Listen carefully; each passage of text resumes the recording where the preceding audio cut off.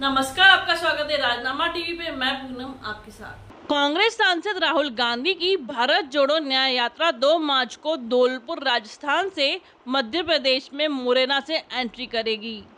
MP में यह यात्रा पाँच दिन रहेगी। रतलाम ज़िले के सैलाना से राजस्थान के बांसवाड़ा ज़िले की सीमा में प्रवेश करेगी। एमपी में एंट्री करने के साथ ही शुरुआती दौर में मुरैना में पहली सभा होगी। बाद में राहुल गांधी रोड शो और नुक्कड़ सभाओं के ज़रिए लोगों को संबोधित करेंगे। मुरैना से लेकर रतलाम तक राहुल गांधी अलग अलग ग्रुप्स के साथ चर्चा करेंगे। हर ग्रुप के साथ अलग मुद्दों पर चर्चा होगी। 26 फरवरी से 1 मार्च तक यात्रा का ब्रेक होगा। दरअसल राहुल गांधी 27 और 28 फरवरी को इंग्लैंड की कैम्ब्रिज यूनिवर्सिटी जाकर लेक्चर देंगे।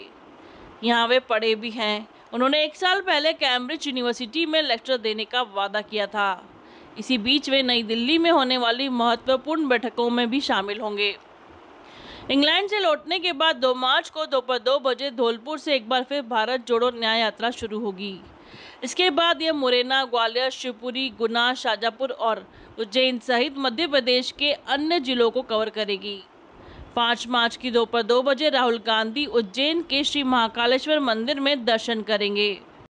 राहुल गांधी चौरानवे दिन के बाद महाकाल के दर्शन करेंगे। उन्होंने पिछली बार भारत जोड़ो यात्रा के दौरान 29 नवंबर 2022 को महाकाल के दर्शन किए थे।